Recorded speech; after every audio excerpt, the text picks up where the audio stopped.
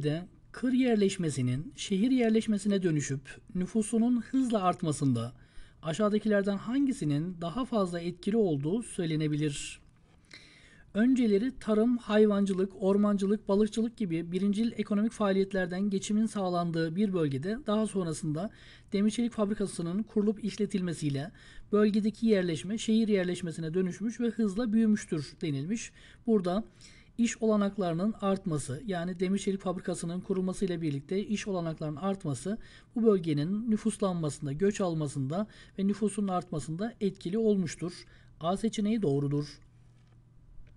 Yukarıdaki özelliklerin tümüne sahip olan şehirler aşağıdakilerden hangisinde bir arada verilmiştir?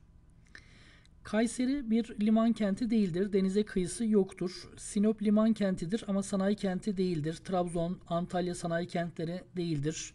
Konya bir liman kenti değildir. Manisa'nın denize kıyısı yoktur. Liman kenti değildir. Antalya sanayi kenti değildir. Fakat İzmit, Mersin, İzmir hem sanayinin hem ticaretin hem de liman fonksiyonunun gelişmiş olduğu şehirlerdir. A seçeneği doğrudur. Aşağıdaki illerdeki köylerden hangisinde nüfus miktarının genel olarak daha fazla olduğu söylenebilir? Dağlık alanlarda, ormanlık bölgelerde genellikle köy nüfuslarının az olduğu görülür. Fakat ovalardaki e, köylerin genellikle çok nüfuslu olduğu bilinir. Buna göre Artvin, Tunceli, Muğla, Zonguldak gibi dağlık alanlarda köylerin nüfusu azdır. Fakat Şanlıurfa'nın köylerinin nüfusunun daha fazla olduğunu söyleyebiliriz. D seçeneği doğrudur.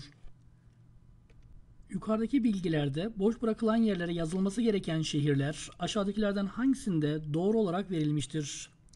Bolu ilinin bir ilçesinin yazılması istenmiş sakin şehirlerden Göynük, Bolu'ya bağlı sakin şehirler içerisinde bulunmaktadır. Erzurum yakınlarında bulunan sakin şehrimiz Uzundere'dir ve Şanlıurfa'da bulunan taşıdığı tarihi değerlerle sakin şehirlere örnek olarak verilen yerde Halfeti'dir. Bu nedenle D seçeneği doğrudur.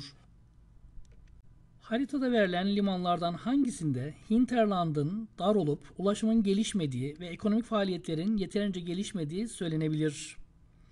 Samsun, İzmir, Mersin ve İskenderun iç bölgelerle demiryolu ve karayolu bağlantısı bulunan ve ulaşım imkanları, olanakları fazla olan limanlardır. Hinterlandı geniş olan limanlarımız arasında bulunur. Fakat Sinop limanının gerisinde küre dağlarının bulunması, iç bölgelerle karayolu ve demiryolu bağlantısının çok gelişmiş olmamasından dolayı hinterlandı dar olan bir limanımızdır. Bu nedenle ekonomik faaliyetler bakımından da yeterince gelişmemiştir. B seçeneği doğrudur.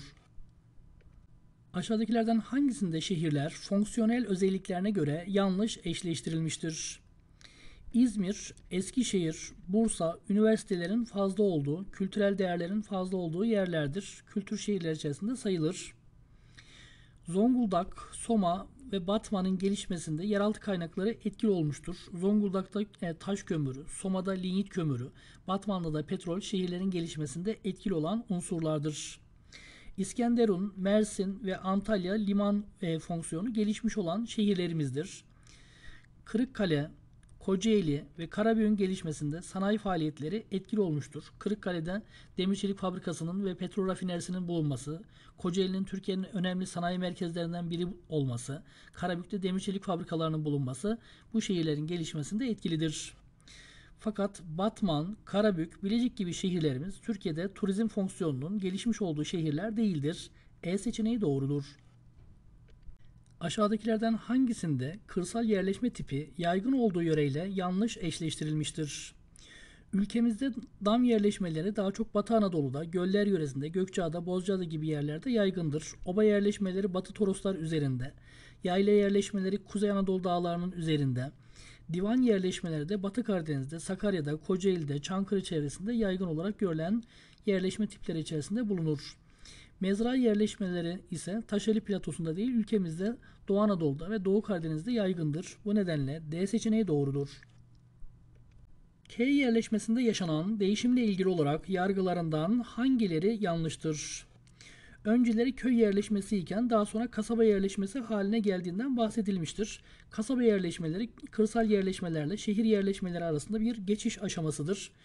E, kasaba yerleşmelerinde köy yerleşmelerinden farklı olarak belediye hizmetlerinin gelişmeye başladığı görülür. Küçük çaplı e, ticari faaliyetlerin geliştiği, bazı sanat, e, zanaatların geliştiği, marangozluk, demircilik gibi sanatların gelişmiş olduğu görülür.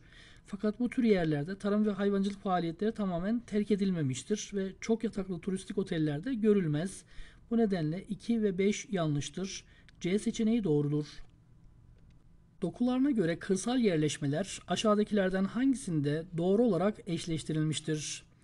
Arazinin engebeli, su kaynaklarının fazla, tarım alanlarının parçalı olduğu alanlarda Doğu Karadeniz'de, Batı Karadeniz'de görüldüğü gibi dağınık yerleşmeler yaygın olarak görülür.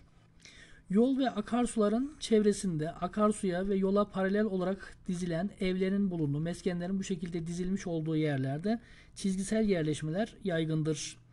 Engebenin az olduğu alanlarda yani yer şekillerinin sade olduğu bölgelerde meskenlerin bir meydanın çevresinde, köy meydanının çevresinde toplanmasıyla oluşan yerleşmeler ise dairesel yerleşmelerdir. Bu nedenle C seçeneği doğrudur.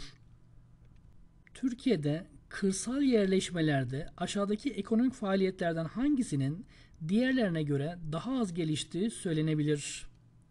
Kırsal yerleşmelerde genellikle birincil ekonomik faaliyetlerin yaygın olduğu görülür.